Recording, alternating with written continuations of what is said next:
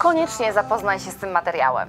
Tych aplikacji na pewno nie znałeś, a pomogą Ci w studiach. Sztuczna inteligencja może pomagać studentom w nauce, a oto moje dwie propozycje aplikacji opartych na AI. Anki. Anki to aplikacja oparta na AI do systematycznego i efektywnego powtarzania materiału. Wykorzystuje algorytmy powtórek e, rozłożonych w czasie, które pomagają w zapamiętywaniu informacji na dłuższy czas.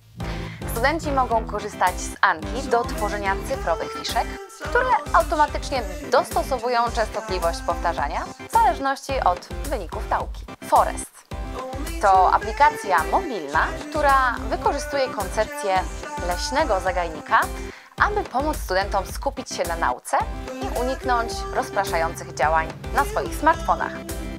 Po uruchomieniu aplikacji użytkownik ustala określony czas, w którym musi pozostawać skoncentrowany na swoich zadaniach.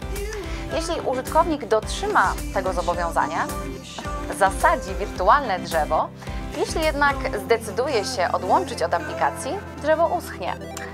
To motywuje studentów do utrzymania koncentracji i skupienia na nauce.